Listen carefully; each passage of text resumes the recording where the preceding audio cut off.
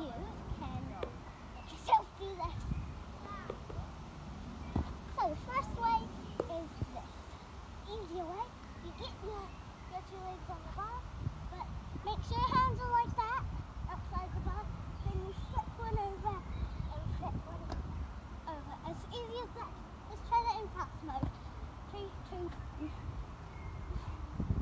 easy as that.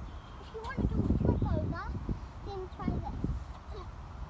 Wait, um, you can try this. And you hook on when you get that. Let's try then slow mo. So get that, go over that, go over like that, and then go down.